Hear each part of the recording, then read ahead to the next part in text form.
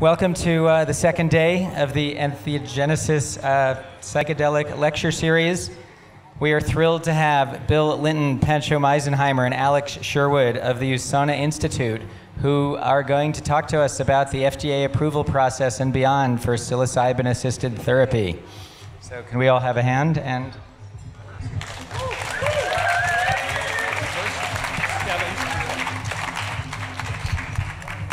Okay. Ron, thank you so much. Really appreciate uh, what you've done here to help put this together. Um, I'm really just going to make some introductions and some recognitions and then kind of set the stage for USONA. Uh, these are some of the guys that are doing the most phenomenal work, particularly on the chemistry, and we have a whole team of people uh, led by uh, Laura McCormick, Melinda Nutzinger, many others who are just doing incredible work uh, back in the home base in Madison, Wisconsin. Uh, I really want to give an appreciation to uh, David Bronner and his team for what they did and the amount of time uh, that they did it to put this together. The design team, the construction team did an incredible job. Uh, and Andy, I just saw you a second ago. Um, thanks so much for, yeah, there we go. Thanks so much for what you did put together this program. Thank you. Yeah.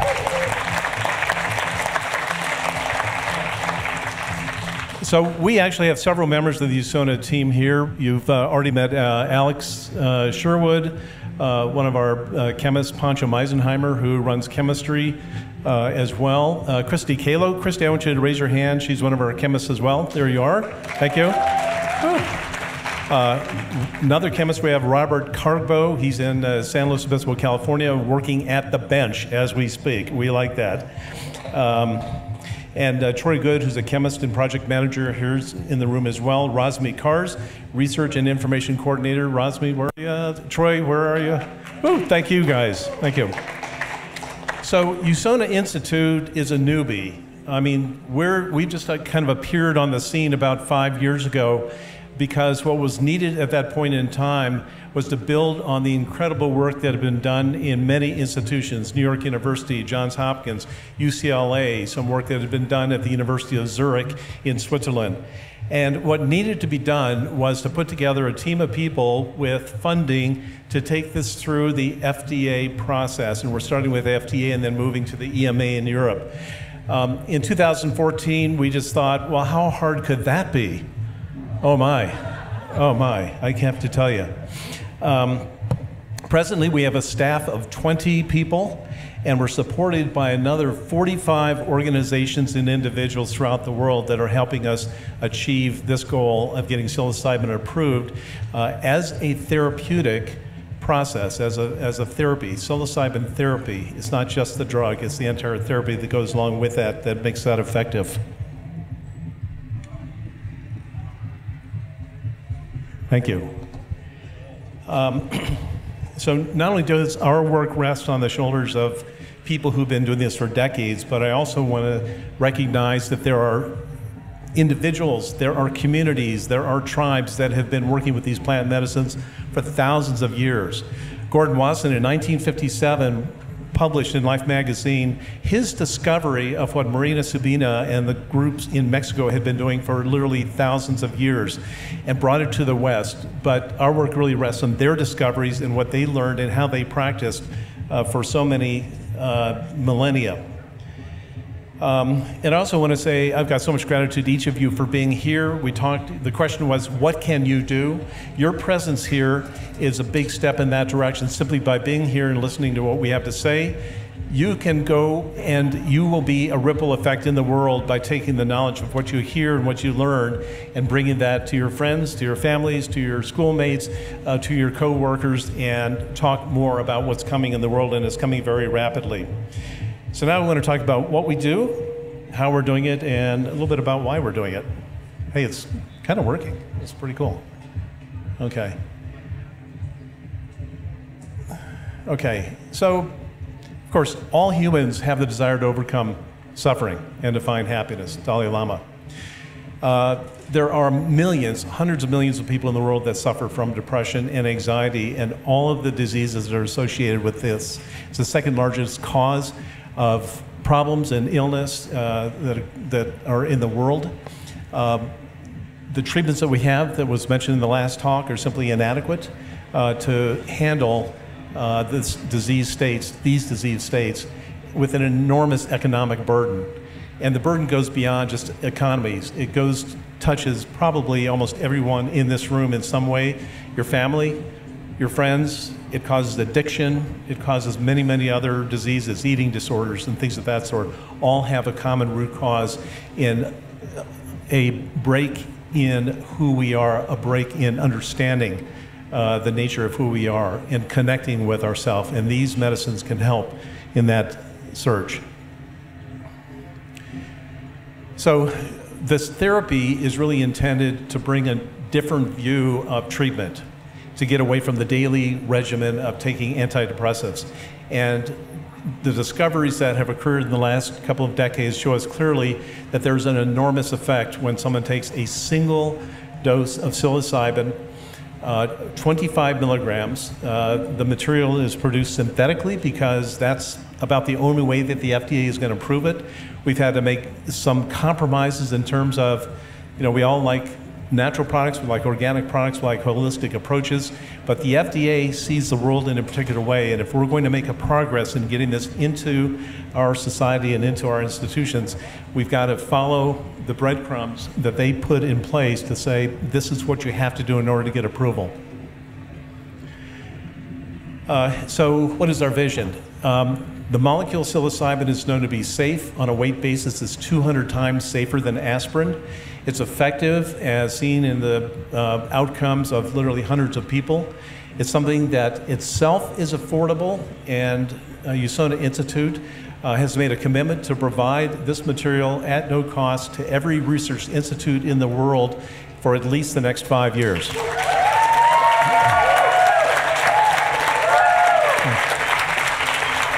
Yeah. And by the way, we can only do it because of the incredible generous support. The government doesn't fund this. This is through the incredible support of people who have stepped up and provided us with funding to make this possible. Um, and I'm looking one guy right here has really helped. Thank you. Thank you, Ro. Yeah.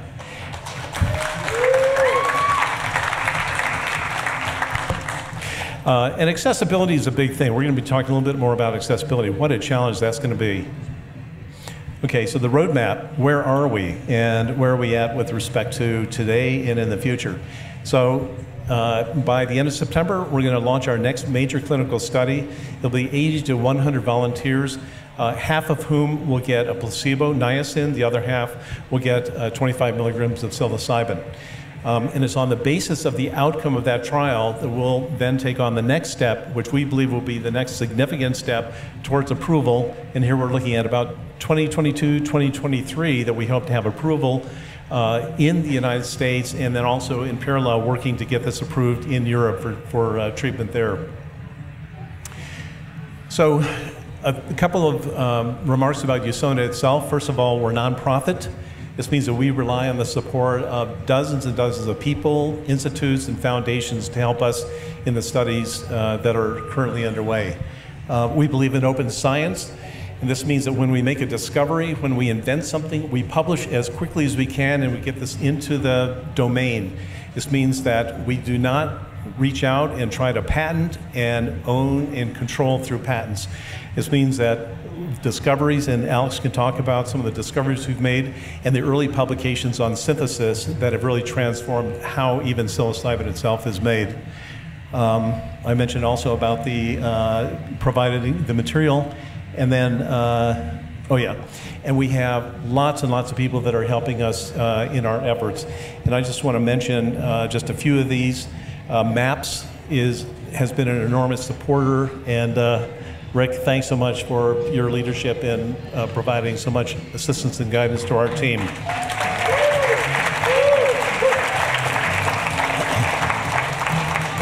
Uh, we work with the Beckley Foundation. We work with the D'Or Research Institute in um, Brazil. Okay. This too shall pass. Uh, Imperial College in England, University of Zurich, I mentioned them, University of Vienna, and these are all significant research institutes that are looking not only at you know, what these molecules are, but also how they work through brain imaging and beginning to do that very difficult work of even understanding the relationship again between structure and outcome. Okay, so what have we done? So the FDA has uh, granted us uh, clearance to proceed. We really like that. That took a lot of work. We have something called an investigator's brochure, which is a document that provides guidance on how this, this molecule can be used in research, and we make that available on our website. People can download that at no cost. Um, Let's see, we have seven, seven, clinical trial sites that we now have under contract, uh, five research uh, universities, and two contract organizations that are going to be doing the work. Uh, again, think of 80 to 100 uh, divided by seven, and we hope to have this wrapped up in 12 months. So hopefully next year at this time, we can report back to you that this big study has been completed. That's really our, our goal. Uh, let's see what else is important here. Let's see. Oh yeah, get this. So we can only sign up 80 to 100, but we have 5,000 people already signed up who want to participate in this trial. I don't think we're going to have a problem with the recruiting. That's really good news.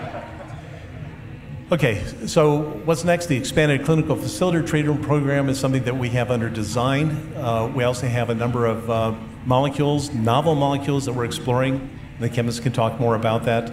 Uh, and again, we're looking at how do we continue to build on what we've done to this moment, and we're looking at creating a world-class research center, probably based in Madison, Wisconsin, that's going to continue the clinical research, the design of new molecules, uh, training, and education, which is so important. Okay, clinical research, drug development, regulatory affairs, lots of people involved in all of that stuff. And then finally, I want to mention uh, Chuck Raison, who's our director of uh, clinical research. Uh, and I just want to read what he says. If the large and rigorous studies required by approval by the FDA confirm findings from studies to date, psilocybin will transform how we treat depression, not just in patients who have failed treatments, but in patients who may choose psilocybin therapy early in their disease. So I wanted to read that because the leadership that we have not only has the practical experience, but they have a vision to succeed and they have the will to succeed, and we will succeed with your help. Thank you.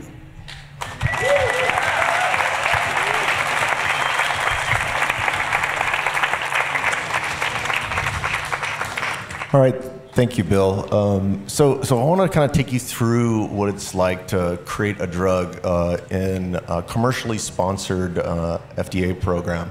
Um, even though USONA and and MAPS are nonprofits, uh, the FDA holds us to a requirement of a commercial sponsor. Uh, and those regulatory requirements are significantly higher for drug development than they are for some of the academic sponsorships that we've had. Uh, and so, so let's kind of go through um, how we kind of go about this. I want to start with a classical drug discovery pipeline, all right? And this is a continuum from left to right. Uh, early on the left side is discovery. Pharmaceutical companies take hundreds of thousands of compounds, maybe millions of compounds, and they screen them in one of two ways. One way may be a phenotypic screen, which means that they're just looking for an effect in an animal or a cell or something. Or another way might be a target based screen. So they know something about the target they're going for and they just look for a modulator. So they screen in one of those two formats, phenotypic or target based, and they look for hits. And once they find those hits, they might dial down from hundreds of thousands of molecules to hundreds of molecules. And from there, the chemists start to tweak the molecules a little bit, look for some lead optimization. Think Alexander Shulgin twisting the edges of a phenethylamine or a tryptamine. And then from there, once they get down to a molecule, they've got their lead, and they start down the program of early preclinical safety, clinical safety, phase one, early efficacy in phase two, and pivotal efficacy in phase three. So, does anybody have an idea how long on average this takes? Just guess out there 10 years? Yeah, 10, 15, or in our case, greater than a thousand years. So you can see on the left here, we show an early cave laboratory notebook drawing of a large mammal experiment showing that the mushroom is definitely a phenotypic hit for the ineffable.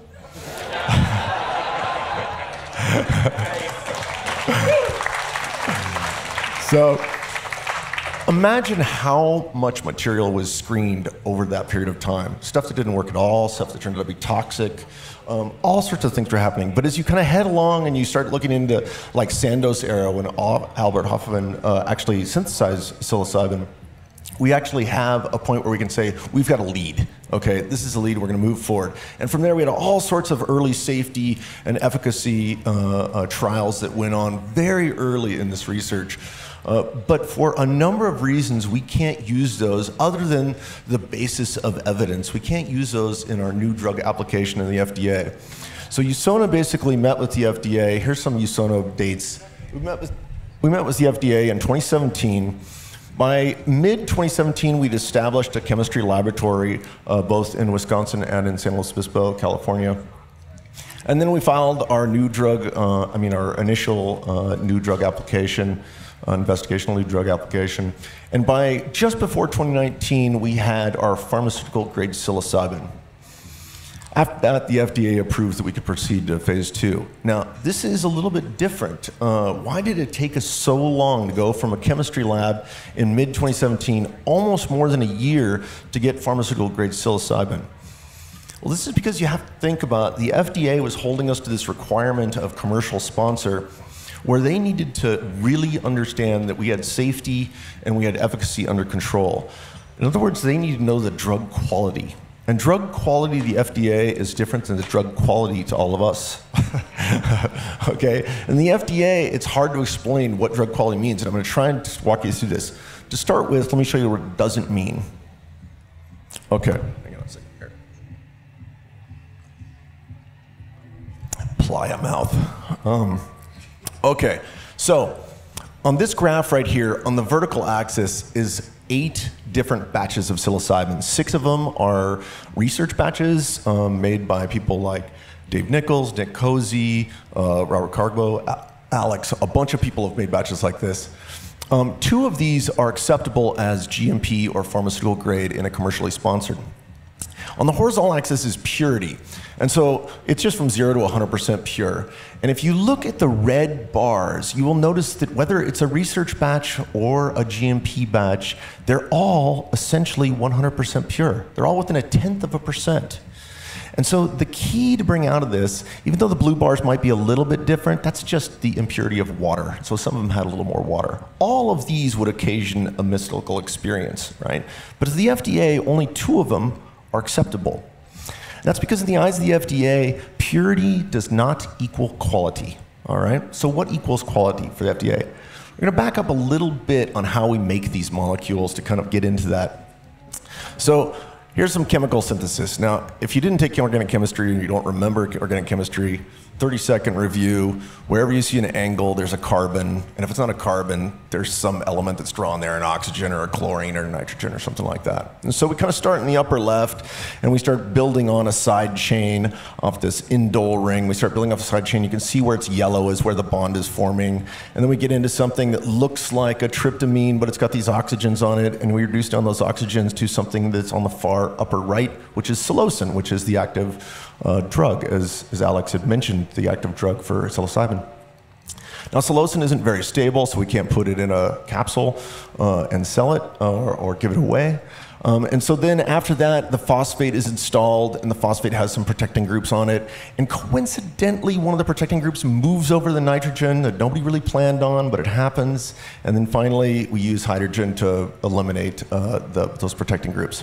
The reason I throw this up here is because for a good chemist like Alex, uh, or, or, Dave Nichols or any others, um, they can work through the, the anomalies of this chemistry. They can work through the fact that psilocin's not stable, that this benzyl uh, compound in the lower left is not stable, that this zwitterion in the middle bottom is not soluble in pretty much anything. They kind of use those to their advantage and they tease out the psilocybin. The FDA doesn't want that. They don't want talented chemists to be able to make the compound. They want anybody to be able to make the compound, okay?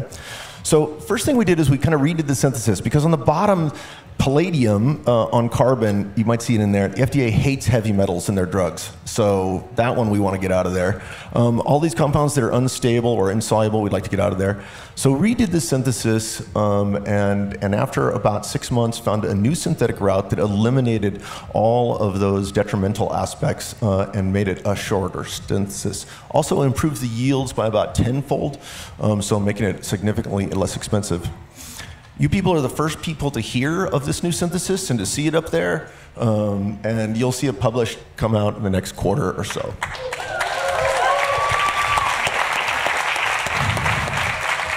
So, what it is about this that gets back to FDA quality? Well, first, um, you know, we're chemists and we like to just show structures. But the FDA really is, cares much less about the structures. They care about this diagram, which we'll say is the steampunk version of psilocybin synthesis. It's basically a flow diagram of all the unit operations that occur for that last step. Reagents flowing in on the left, doing the reaction, followed by quenching, followed by filtering out solids and retriturating them, and going all the way on through to the very end. And at the end, you get a drug. Well, the difference between research grade and GMP grade is this right here. The only control for research grade is you just look at the specifications of that drug. Is it pure enough? If it's pure enough, that's research grade. But to the FDA, quality is the control of the entire process. And so we start looking at other aspects. We control every reagent that goes into this by looking at the analytical um, uh, view of the critical material attributes. We have documented recordings of the the commissioning of the analytical equipment, the verification that that analytical equipment actually measures these material attributes. In addition, we have another layer of control, all of the engineering controls around each of these reactors, the temperatures, the stir rates, all of that. In addition, we have even more control where we're sipping out material out of each of those unit operations and analyzing them and documenting that analysis along the way. This is what GMP is. The entirety of the control of the whole process. This makes pharmaceutical grade psilocybin.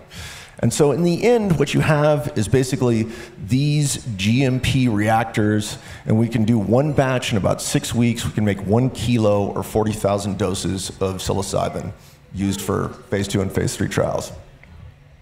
So next up is just um, you've seen that, that graph already before. After this, we go into our phase 2B uh, POC for efficacy, uh, and then do a few more clinical trials, you know, renal impairment, food effect.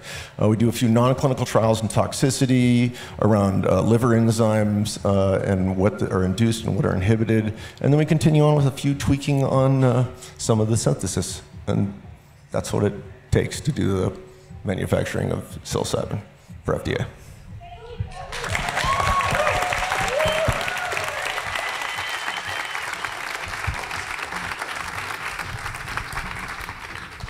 Yeah, so I, I guess I'm going to change gears a, a, little bit here. So, uh, you know, as a, as a drug designer, when I learned that the you know contemporary clinical trials with psychedelics were beginning with psilocybin, the first thing that came to my mind was, well, why psilocybin? There, there are so many different psychedelic drugs. Why start with psilocybin? And so, as it turns out, there are a, quite a few salient points that that uh, lead us to, to using psilocybin and and uh, as a potential Sure, as a, as a good choice. So, as Poncho had mentioned, uh, familiarity, extensive history of safe use. This is a drug that has been in development for thousands of years. So, uh, we, we kind of knew what to expect with psilocybin. Uh, the duration, so uh, for five to eight hours for a psilocybin experience, I, while not exactly ideal, and I, I, imagine the clinicians could probably comment on this better than I can. Uh, I mean, I think uh, you know eight hours kind of ties up a whole day, and from a, an efficiency standpoint, this may be a challenge, but it's you know not uh,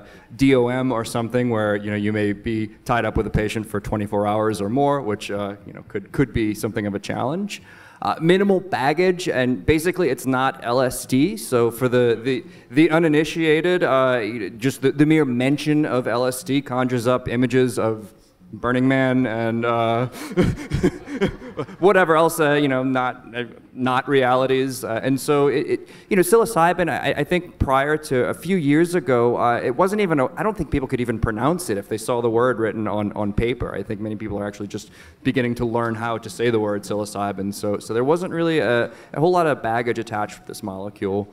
Uh, and finally, the, the, anecdotal and preliminary uh, clinical efficacy. So uh, the anecdotal efficacy has been known for, for some time, and then the preliminary clinical trials have also shown that this uh, may very well be a, a quite effective uh, molecule. Um, so uh, on the right there, also Sandoz had had made psilocybin in, in, in the 1960s, and so there there was some clinical use with psilocybin, but that kind of kind of went away in, in the 1970s with the Controlled Substances Act. But it is a molecule that, that we're we're quite familiar with. But uh, what about everything else? So I, I just made this slide from memory. This is uh, you know maybe maybe 20 or 30 structures, but if you if you scan through PiHKAL and TiHKAL, there are literally hundreds of known psychedelic molecules. So so what about all of the others? Uh, so so yeah, the, the research arm of the USONA Institute, we've, we've set one of our, our key goals is, is advancing scientific understanding into the mechanism of action of these different psychedelic compounds, and ultimately to, towards the end goal of accelerating the development of, of new therapeutics. So, you know, just figuring out how they work is, is not enough because, well, you know, wh why are we doing this? And, and it's, it's to try to, to address and help it, the, as many people as possible. Uh, so I'm not going to get, in too far into detail in here, but uh, the, the gist of this is that there is a lot that we don't know. So on the left side here, this is kind of the contemporary understanding of how psychedelics works. This is basically what 99% of pharmacologists would agree on with psychedelic drugs. So that's the 5-HT2A receptor. So this is the protein on the surface of a neuron in the brain. Uh, your psychedelic drug, it makes it to the brain, it binds to that, that receptor. Uh, it, it causes a pathway to get activated inside the cell. This causes a bundle of neurons to start firing, and, and you get psychedelic effects. Uh, and while this is a perfectly valid explanation of a part of the process, it is very likely much more complex than that. So on the right side, so this is kind of a new paradigm in pharmacology called network pharmacology. So all psychedelic drugs not only bind to 5-HT2A receptors, but they're, they're promiscuous, quote unquote. Uh, they, they like to interact with all sorts of, of different receptors at the same time. And different psychedelic drugs have different interactions with all of these receptors. And so they interact with them at the same time. And so you end up with a, a map, kind of, you know, all of these receptors being activated at the same time, then interact with one another. And so there's this, this kind of complex thumbprint for different psychedelic drugs that we, we really don't have an understanding of the, the mechanism of how, how this all works. And uh, I mean, this is largely because we, we just don't have the capacity to study this. I think uh, with modern high throughput pharmacology techniques and, uh, and, and, computers and, and machine learning, uh, we are at the point now where we can begin to piece together these, these complex interactions and, and get a better understanding as to how these things are different. Uh, and so I call these the, the black boxes in psychedelic research. So all of this research, uh, you know, it exists on sort of a continuum. You could probably lump all of the scientific research into psychedelics into one of these four boxes. So I kind of live down here on the, the left side on the receptor or molecular end. I'm making molecules and trying to figure out how they, they interact with receptors. You got the systems biology. So, so how do these things affect the brain as a whole, how it works? Subjective experience. So you've got your, your psychologist. And then finally, the, the therapist. And so on the one end, you've got sort of reductionism. So that's you know, saying that you know, we can understand the whole by looking at each of the individual pieces, you know, kind of like a lock you, or a watch. You can, you can take all the gears and springs and put them all together and figure out how the watch works. But then at the other end is, is, a, is a more holistic view, and that says that we, this too shall pass.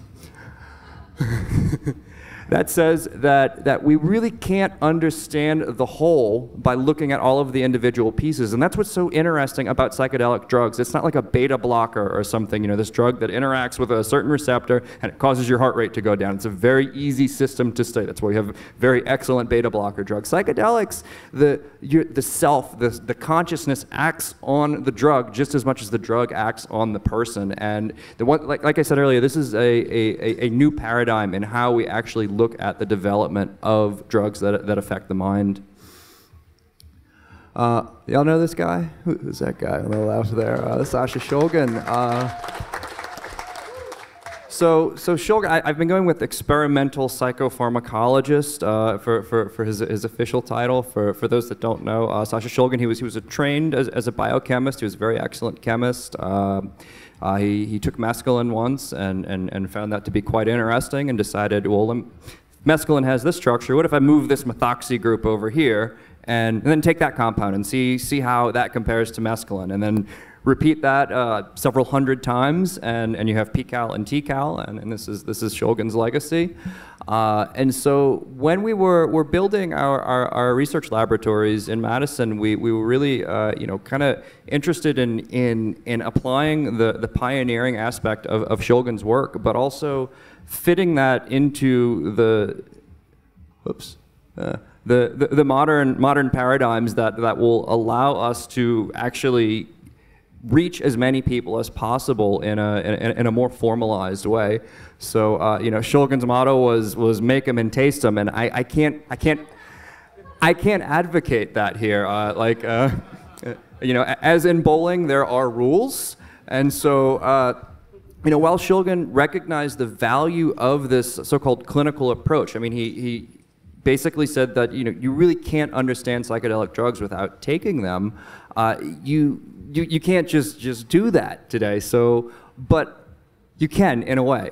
Uh, so uh, what, what do we have that, that Shulgin didn't have? So as Poncho noted, we have the ability to produce high quality compounds under GMP, so, so compounds with good purity and quality. Uh, we have toxicology assays. So you know Shulgin's approach to toxicology was? He'd make a new compound and then he'd take a little bit of it. And then he'd take a little more. And if he started to feel bad, he wouldn't take any more. and once again, I can't advocate that approach. So we have assays now where you can, you can get just sort of sort of red flags. So, so you, you basically treat a, a cell culture with a, a, molecule, and it'll let you know this is probably going to be toxic. It shouldn't be consumed by anyone. Um, so we have high throughput pharmacology assays, computational uh, methods. Uh, we've got all sorts of um, animal behavioral techniques. And finally, we, I think we're moving into an era of favorable scientific, social, and, and, and legal climate. Um, so let's see, where are we going from here? And so this is a, a molecule uh, beyond psilocybin that we're, we're taking through that process now. So uh, uh, some of you may be familiar with, with 5-MeO-DMT here. So uh, the picture on the bottom left there, so that's a, a recently synthesized uh, engineering batch of 5-methoxy-DMT. That's about 60 grams of high purity 5-methoxy-DMT. Uh, we've officially filed our uh, IND application with the FDA for 5-methoxy-DMT. And uh, the actual GMP synthesis of this compound is commencing in, uh, in the coming weeks, actually. So the uh, first stages for the first human clinical trials, uh, controlled clinical trials with 5-methoxy-DMT are underway. So.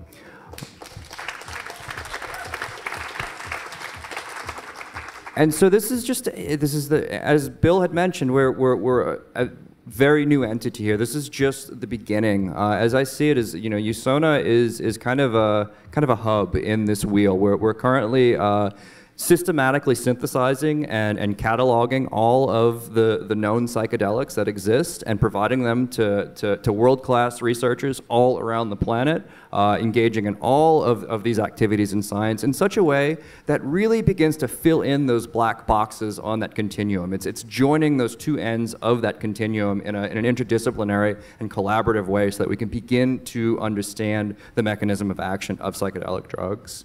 And so with that, oops. So many molecules, the time is now. Thank you.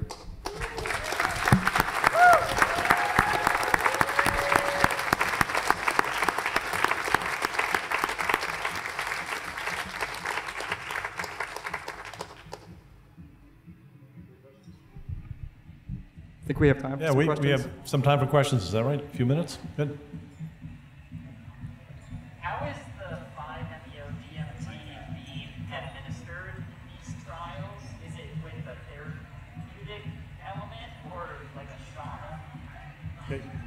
Talk about that a bit?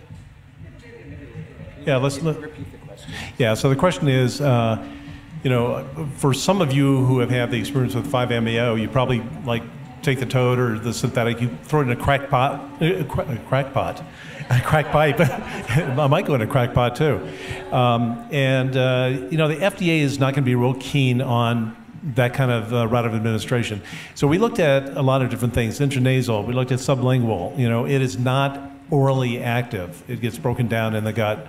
And so we've kind of uh, looked at um, intramuscular injection, and we've looked at that as probably the most safe and effective and precise way of delivering. And we've begun to bracket now the uh, kind of the therapeutic amounts, and then we're going to pursue that really over the next year, uh, ultimately in humans. So that's kind of our direction with respect to route of administration.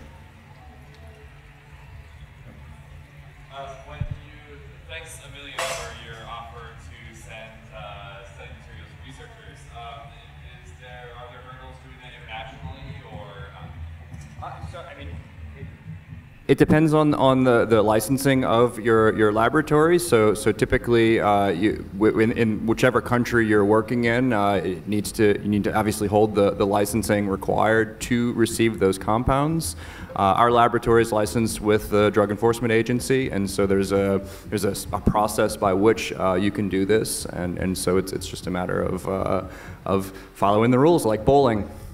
If you go on the Usona website, uh, there actually is some instruction on who to contact, and then there's, uh, there's some forms to fill out, and basically we just have to uh, qualify the research center, and then we make these compounds available.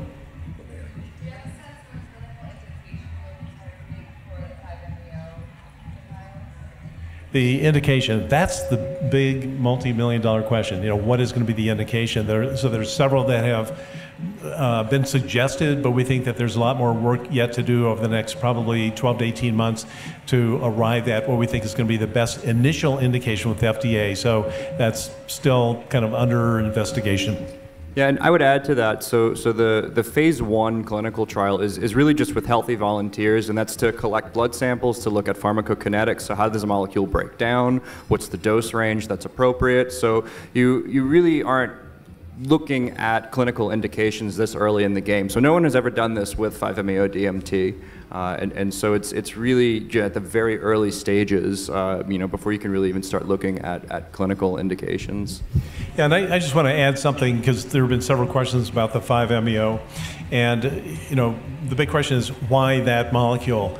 And there are two things that really have occurred to us as we've explored different molecules. Number one is the duration of action. Instead of a four to six hour psilocybin experience, it's probably more like a 30 to 60 minute experience. Of so from the standpoint of you still need the support, you need the pre-work with the individual, you need the uh, the integration work afterwards, but the experience itself is going to be uh, much more shortened. Uh, that was kind of the one thing. We think it's got a large safety profile as well. There was a second thing I can't remember. Anyway, probably loss of memory. I don't know.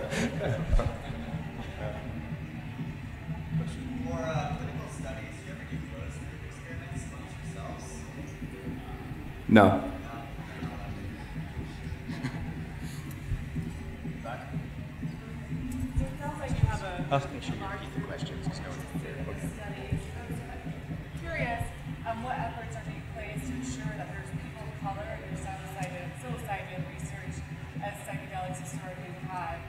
Uh, few in, in Asia? Sure. So repeat the question. Uh, so, uh, how, how do we ensure that, that there are people of color included in the, the clinical trials with psilocybin? Or, So, uh, yeah, yeah, of the 5,000 uh, people that we have signed up, there's a whole system as far as, you know, how to select. Uh, it, part of it depends on geographical proximity. We have two major clinical centers set up uh, in the middle of Chicago, in the middle of Miami, and so we think that's going to be very helpful in terms of selection. Obviously, what's really important is that we have people that can do this, that they uh, exhibit the, uh, the diagnosis of major depressive disorder in the case of psilocybin, and that we are as inclusive uh, as we possibly can be. The, the big challenge for us is how do we make this as inclusive and as available to the literally millions of people that need it? And so there's a lot of work now going on to look at medical uh, systems and uh, you know the, the paradigm as was mentioned earlier in the last talk you know we need to change our way of thinking about how we provide these treatments uh, to people to make them available as broadly and as deeply as possible and specifically to the people that often can afford treatments the least and who are most uh, at risk in terms of uh, these disease states. Um, I did think of the second point about uh, the, the 5-MeO, and that's that um, it goes beyond, uh, it's not a true psychedelic, and it, kind of a term that we've used has been more of a transcendelic, that it reveals the transcendent state and not simply the mind state. And we think this is such a powerful uh, molecule with respect to potential treatment uh, that it can take where psilocybin is going and even take it to a point beyond that.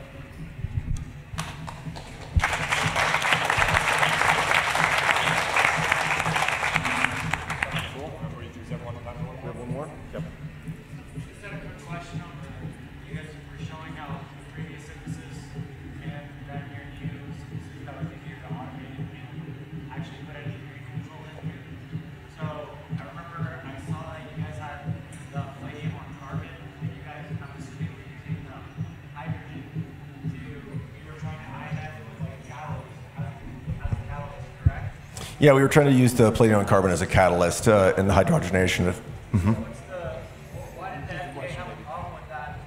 All I could really see is the risk of the catalyst being poison in practice.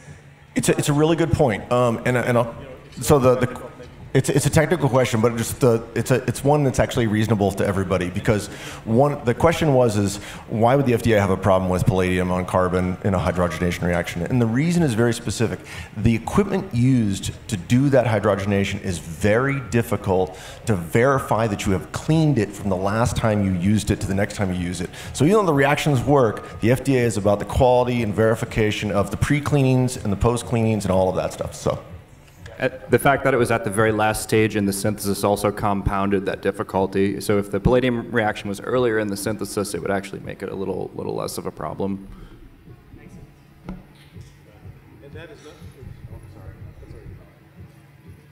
I was going to mention this is not kitchen chemistry in case anybody's getting a lot of ideas. I saw a few, I saw a few cameras out there, but hey, good luck. Uh, please.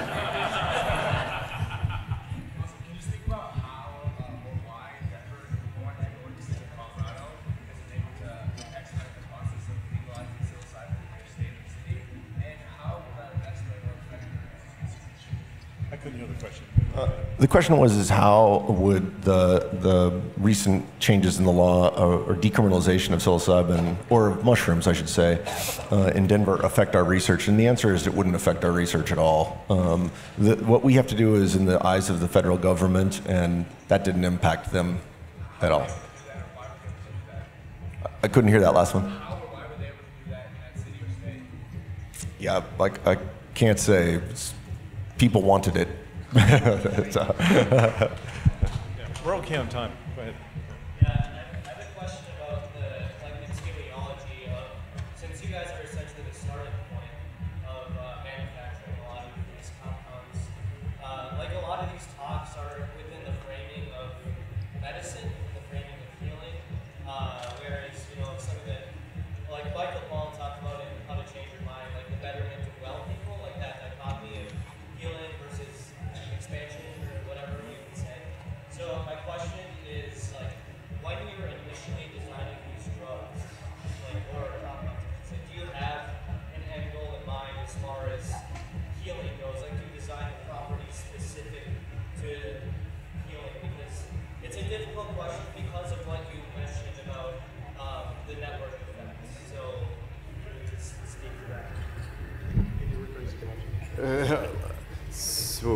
Rephrase the question? Um, so, uh, I mean, we're, not there yet. I, that, that's that's the thing is is we're we're at the the genesis of even asking that question. Uh, you know, I mean, psychedelics have been neglected for the last 30 years. I think we'd probably know a little more if people hadn't been so afraid to work with them for the last 40 years.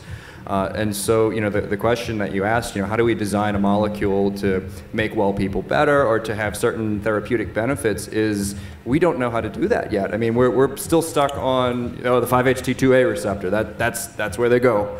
Uh, and and it, the, the picture is so much more complex than that. I mean, it's a, it's a known unknown, uh, is what it is. And so uh, we, we, we know that we don't know how to do that yet. And so, and so that's kind of the, the goal of our research program is to begin to, to fill in those little pieces so that we do know how to design molecules that can be most effective. So yeah, great question. Maybe back there. Yeah, that was actually you. Yeah, yeah. Sorry, um, I was curious. Uh, it, it seems like there's a lot of, uh, when it comes to generic versions of drugs, there's a lot of like, uh,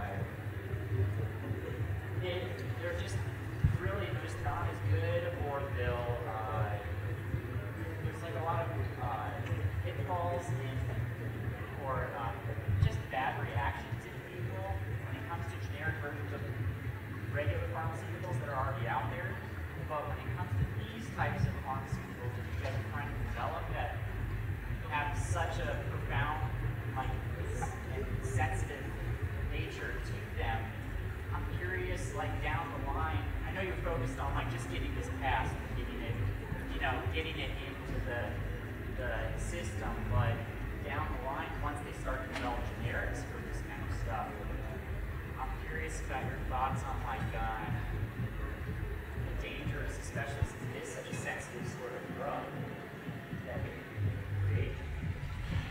Yeah, so the question I think is, I'm, I'm going to see if I can rephrase this, is, you know, so we're going to be uh, a, a supplier and for some time possibly one of the, and probably the, one of the major suppliers.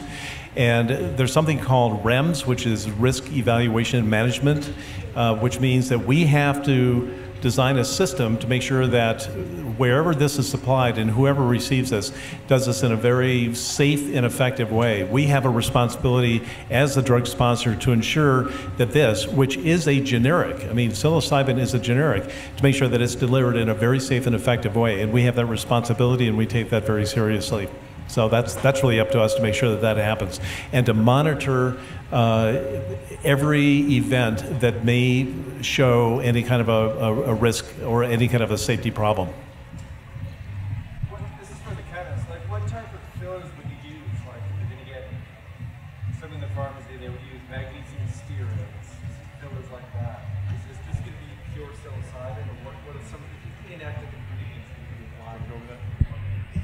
Yeah, so we'll probably hold off that decision uh, until after the uh, the POC for phase 2B.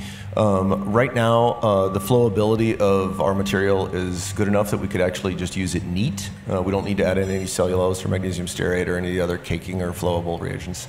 Um, but we'll see. For for the finished product, that may change.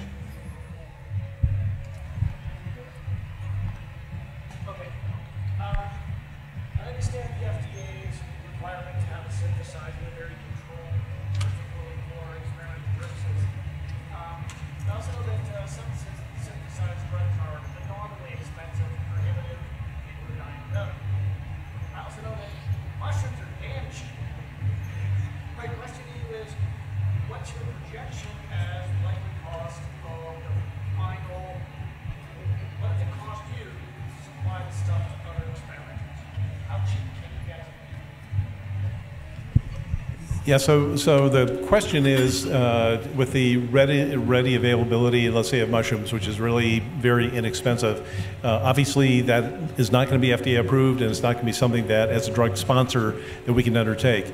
Uh, the cost probably in a final delivery of psilocybin, when we look at the scale and so forth, is probably $25. Okay? When you compare a single treatment with that kind of an outcome, and again, that's just, I'm throwing out numbers here, uh, maybe it's $30. But when you compare that with the total cost of treatment, the therapy, the time it takes to evaluate people, to screen them, and so forth, this is a tiny, tiny, small amount of what the cost of the treatment is. And so the, the hurdle to making this available is not the, the material itself. And even going through the full drug product encapsulation distribution, maybe it's $37.50. But the point is, that's not ever going to be the major problem in getting this available. It's going to be, you know, the, the full uh, package of therapy. And it's not a psychotherapy per se, but it is ensuring that this is done. Set and setting is absolutely paramount, as people who have been in this field and understand so well.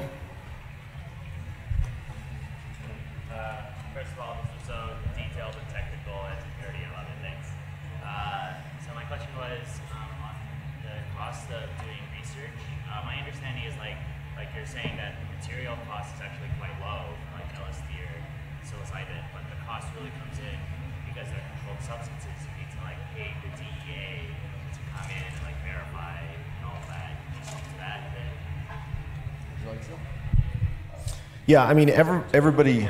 Uh, the question was: Is does the cost uh, uh, for the drug actually get burdened significantly by all the regulatory events like DEA and and definitely DEA has their annual fees uh, for each of the different licenses that we have. Um, it, it's it's not hugely significant uh, compared to just time on research. Uh, time on research is probably the most significant aspect of, of, of most of the costs.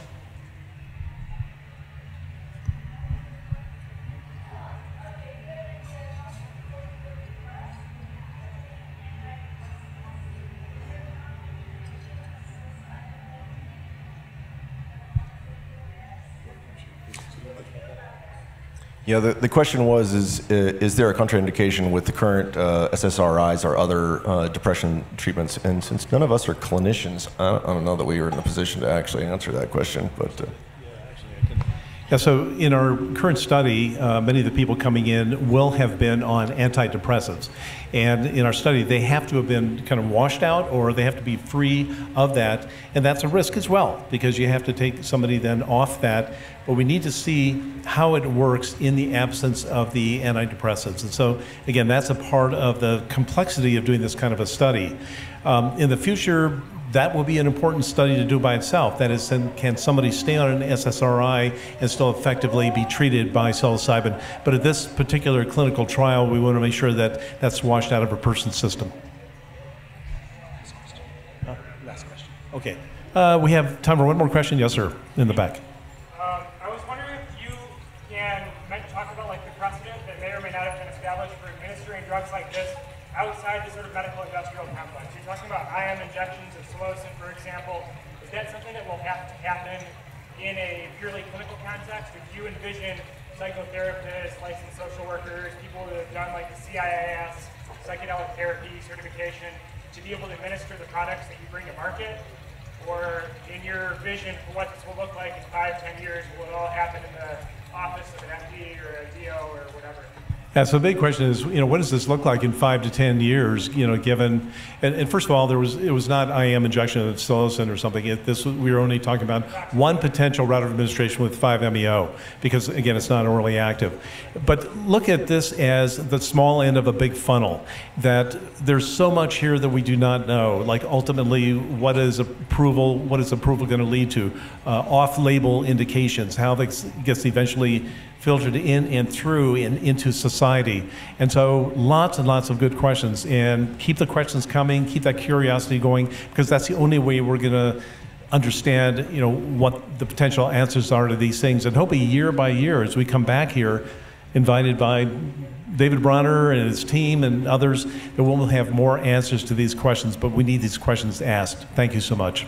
Thank you. Great. So thank you, Bill. Thank you, Poncho. Thank you, Alex. We're going to have our next uh, speaker starting in about five minutes. So if you're going to stay, stay. If you're going to leave, leave. And the USONA folks will be outside to answer your questions right after the speech.